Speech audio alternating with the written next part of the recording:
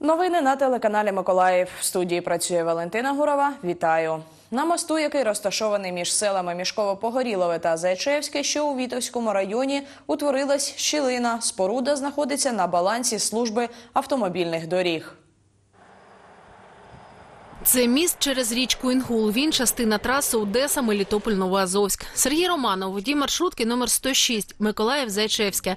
Через міст їздять щодня. Говорить, через щілину, яка утворилася у споруді, на дорозі створюються аварійні ситуації. Там така трещина, ви самі видели. Там така щілина, ви самі бачили, сантиметрів 15 просвіт, видно річку. Та це взагалі призупиняєшся позаду, якщо фура їде завантажена, то мені таке розповідають. Їм важко зупинитись, а я з людьми їду. А якщо я стрибаю через щілину, пресори через день треба замінювати. За мостом дачне товариство. Аби потрапити туди, люди користуються мостом. нехорошее состояние, потому что такие Дуже поганий стан мосту, тому що такі машини їздять. Подивіться, я особисто побоююсь, що колись це відбудеться. Очень плохом. Його кожен год там дирочки. Ой, дуже поганий стан. Його кожного року там дірочки заклеюють, а за 2-3 місяці вони знову відпадають. І знову і знову ось так машини їздять, об'їжджають. Погано. Плохо. Міст побудували у 1984 році. Зараз інтенсивність руху понад 10 тисяч одиниць транспорту на добу. Половина великовантажні автомобілі. Цифру озвучив виконуючий обов'язки начальника з виробничої діяльності служби автомобільних доріг у Миколаївській області Михайло Ганич. Капітальних ремонтів зазначеної штучної споруди не проводилися. Е, У 2006 році проводились ремонтні роботи з е, відновлення деформаційних швів. Е, Зазначена споруда, деформаційний шов знаходиться між плитами прогінних будов.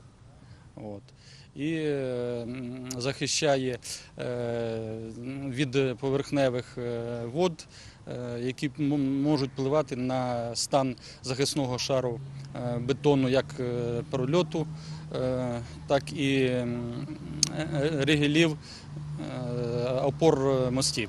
Михайло Ганич говорить, востаннє деформаційні шви відновлювали у 2006 році. Тоді ж укладали і нове покриття дорожнього полотна.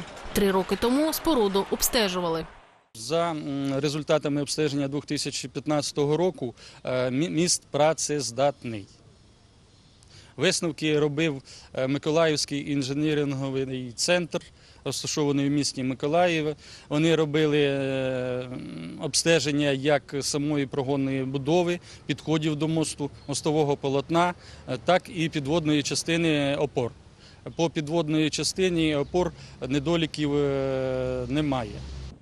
Михайло Ганич говорить, міст не в аварійному стані, але щілину, яка утворилась на ньому, усувати треба. Служба автомобільних доріг визначилась з підрядником і за тиждень мають розпочати ремонтні роботи.